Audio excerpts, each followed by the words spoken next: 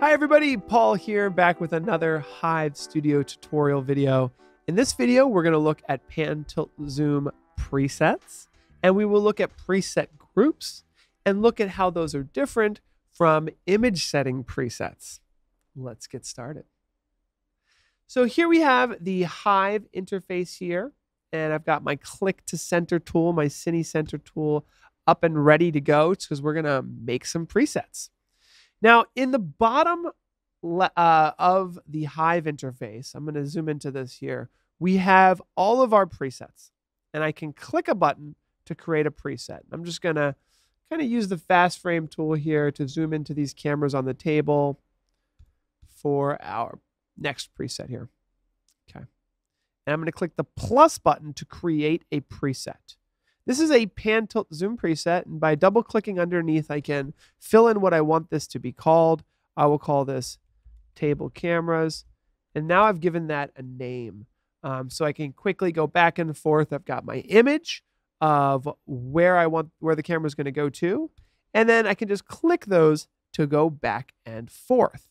Now, on the right hand side of this area, we have the ability to create preset groups. And by creating a preset group, I can group together several presets for easy access. So I'm going to show you how to do this. We'll create our first preset group here.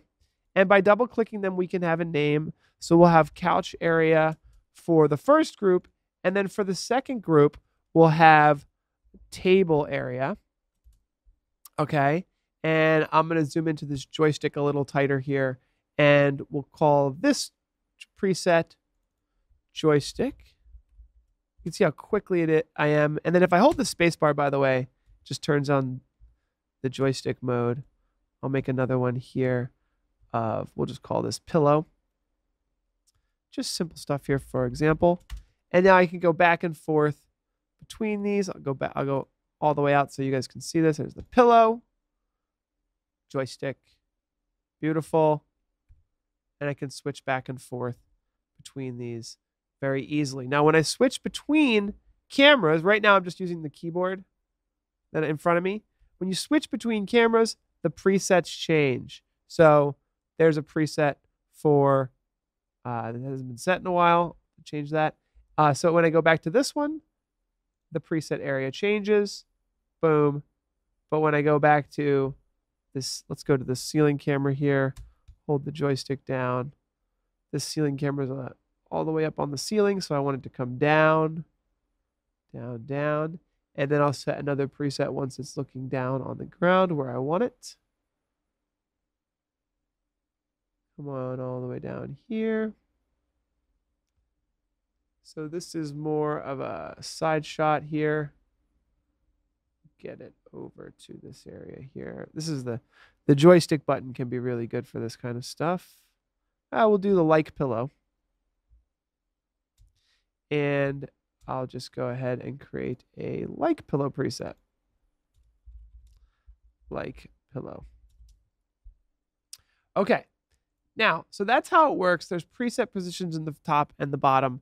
Now, the other thing I want to draw your attention to is the image presets. These are different. We're going to cover this in the uh, color correction tutorials, but these are presets that are made up of the different shutter speeds, irises, iris adjustments, color correction tools that you have access to.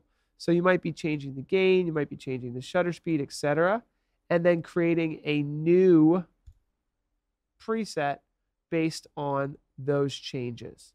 So these are different. Just want to make sure that's clear. We have position presets, okay?